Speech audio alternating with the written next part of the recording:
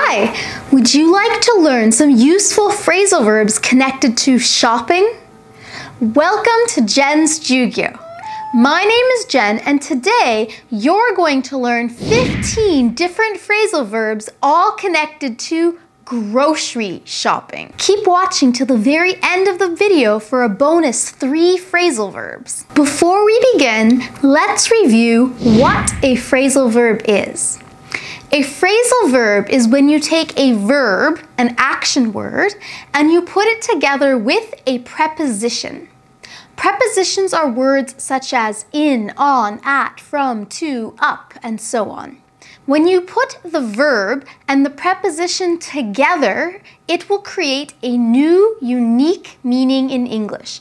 And often the meaning of a phrasal verb is different from the original meaning of the verb itself. For example, if we take a look at our first phrasal verb for today, it is pop into. Pop into. Pop is the verb and into is the preposition.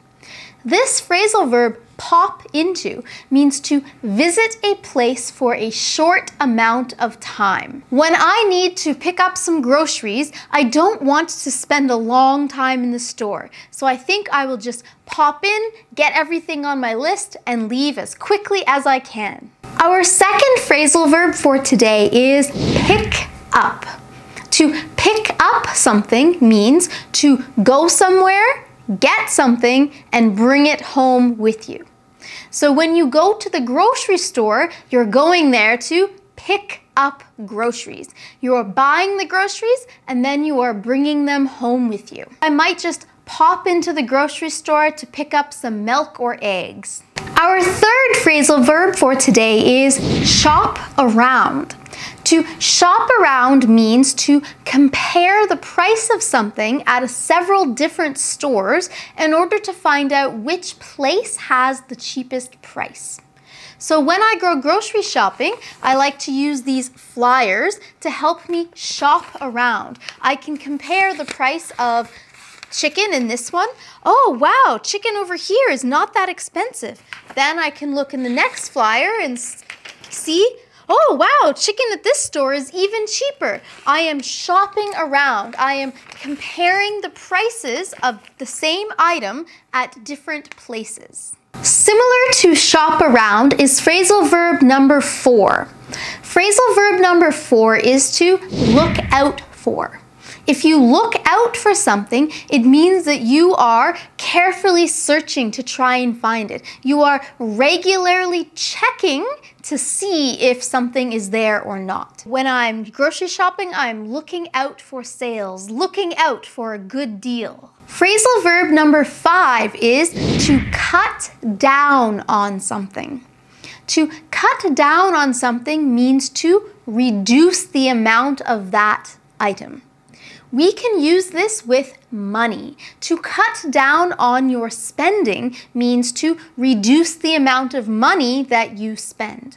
The reason why I like to shop around and look out for deals is because I'm trying to cut down on my spending so that I can save money. We can also use the phrasal verb cut down, meaning to reduce a certain item. I should cut down on the amount of snacks I eat so I should eat before I go grocery shopping so I don't buy as many snacks and I can cut down on the amount of snacks I buy. Phrasal verb number six is try out.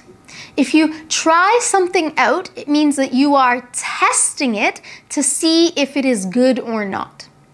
Sometimes in a grocery store, there will be somebody giving you free samples of a certain food or beverage.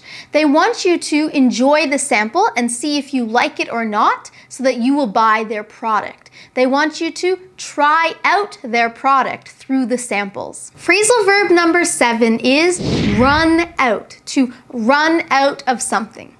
If you run out of something in your house, it means that you have completely used it up. It is all finished and now you need to buy more. This bottle of soy sauce is empty. We have run out of soy sauce. We have to go to the store to pick up some more. When we talk about a store running out of a certain product, we can use another phrasal verb.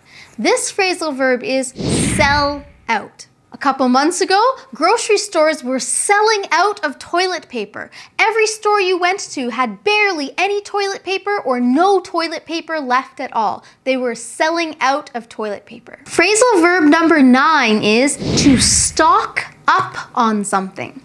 If you stock up on something, it means that you are buying a large amount of it to use in the future. One of the reasons why many stores ran out and were sold out of toilet paper is because other people were stocking up on toilet paper. They were buying large amounts of toilet paper to use in the future and weren't leaving enough for other people. When I go grocery shopping, I mentioned I have a bad habit of buying snacks. And if you've seen my phrasal verbs for daily routine video, you can see how I stocked up on a lot of snacks.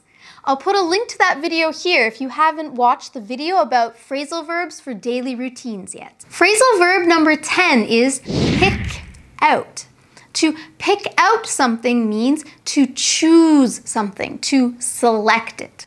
As I mentioned, I'm trying to cut down on the amount of snacks I eat. So when I'm at the grocery store looking at all the snacks, I've decided I will pick out only one. Pick out, I will choose only one. Phrasal verb number 11 is go with. Go with can be used in two different ways. The first way we can use go with is to say that that is the item we have decided on. If I'm trying to pick out a certain snack, ah, should I choose this one or this one? Ah, I will go with this one, meaning I will decide on this one. The other way that we can use go with is for something to match or complement or harmonize with something else. Maybe I'm shopping and I see some delicious cheese and I think, oh, I should buy this cheese. It will go well with the wine we have at home. Phrasal verb number 12 is take back. If you take something back, it means that you return it. One time I bought some fruit on a tray that was already cut up for a party, and I brought it back to my apartment and suddenly noticed that some of the things on the tray had mold on them already, but I just bought it. So I took it back to the grocery store. So it means I returned it to the grocery store. Take something back is to return it. Phrasal verb number 13 is line up. When you're in a grocery store that's really busy, you often have to line up before you can purchase your items. You need to stand in a line, or as British people might say, form a queue before you can pay for your items. So there's usually a line to get to the checkout, to the cashier. So you need to line up so you can pay for your items. Phrasal verb number 14 is ring up. When you're shopping in the grocery store, the cashier will ring up your purchases. Ring up means to calculate the total amount of money that you owe by entering certain numbers into the cash register or by scanning the items as they go through. So by scanning things or entering numbers, they are ringing up your total for your bill at the grocery store. Phrasal verb number 15 is rack up. To rack up something means to get a large number of something. So if you spend too much money at the grocery store, you are maybe racking up a huge bill, meaning the amount of money is higher than you expected. Or on a positive note, when I go grocery shopping, I have many different points cards for different grocery stores. And at the grocery store, when I pay for my item, they usually ask me, do you have a points card? Do you have your Air Miles card? Do you have an Optimum card? And they will swipe the card and you will get some points. So I like to rack up the points and then I can get free groceries with those points. So today you learned 15 phrasal verbs all connected to grocery shopping. And now it's time for question of the day. For today's question, I want you to practice what you've learned in this lesson. In the comments below, please tell me about your grocery shopping routines or your grocery shopping habits. Try and use expressions from this lesson in your answer in the comments below. Before you go, I have three bonus phrasal verbs for you which are connected to grocery shopping, but grocery shopping in a time of COVID-19. The first bonus phrasal verb is put on. Put on means to wear an item of clothing.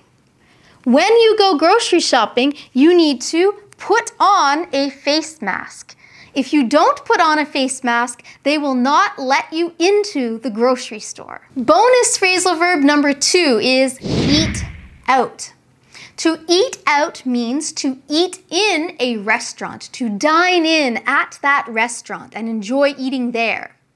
Due to COVID 19, restaurants are closed and we cannot eat out anymore at this time. As a result, at first, I thought, huh, I can't eat out, so I will probably need to go grocery shopping more often. However, that hasn't necessarily been the case because of phrasal verb number three, our bonus third phrasal verb, which is to order in. Rather than eating out and rather than going grocery shopping, I have been using Uber Eats, Skip the Dishes, and so on a lot to order in. Order in means to contact a restaurant or an app service and get the food that you have picked out delivered to your house.